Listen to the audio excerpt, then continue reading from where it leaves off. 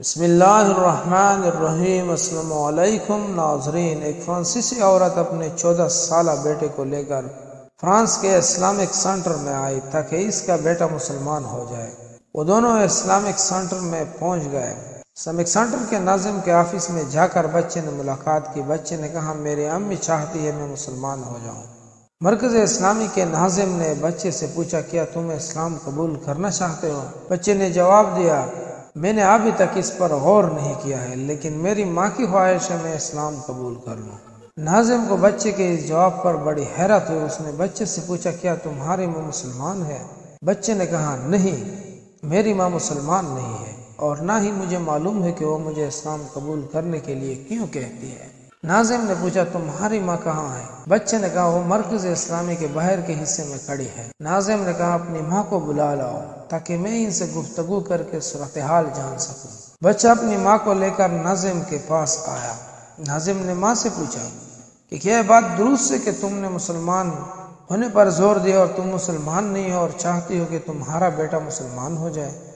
माँ ने कहा कि यह बात बिल्कुल ठीक है। नाजिम को इस जवाब पर बड़ी हैरानी हुई। उसने माँ से पूछा, क्यों चाहती हो तुम्हारा बेटा इस्लाम कबूल कर ले? माँ ने जो जवाब दिया वो हैरत ज़्यादा करने वाला था।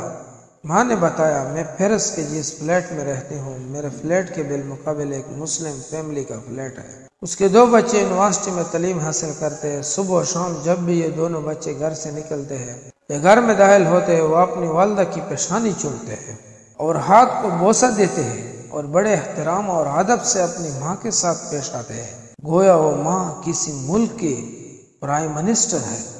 मैंने जब से मंजर देखा है, मेरे दिली तमन्ना हो गई है कि मेरा बेटा भी मुसलमान हो जाए। वरना मुझे डर है, मैं जब भी बुढ़ी हो जाऊँ, कहीं मुझे ओल्ड एज होम में ना रखे। मैं चाहती हूँ मेरे साथ ऐसा सलूक करे, जैसा ये मुस्लिम माँ के बच्चे अपने माँ के साथ करते हैं। फिर भी हमारा अखलाक से मुतासर है, लेकिन हमारे मुसलमानों को क्या हो गया है कि वो माँ बाप को नहीं चाहते, से बात नहीं करते, वो बंटवारा करके खुद तो अलग होते हैं, उसको उसी जगह छोड़ देते हैं। तो दोस्तों से गुजारिश है जिनकी माँ बाप ज़िंदा है, उनसे जन्नत हासिल करो।